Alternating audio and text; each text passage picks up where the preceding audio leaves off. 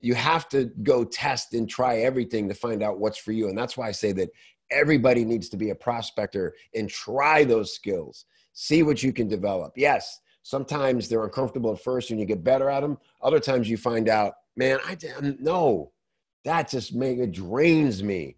I don't like it. Uh, and, and just like you should listen to your instincts about people being full of shit, you should listen to your instincts about things that you just don't want to do. And but you've got to try first. You've got to you've got to uh, uh, push yourself into that into the deep end, into the cold water, and go. maybe polar plunge in for me. Let me figure this out.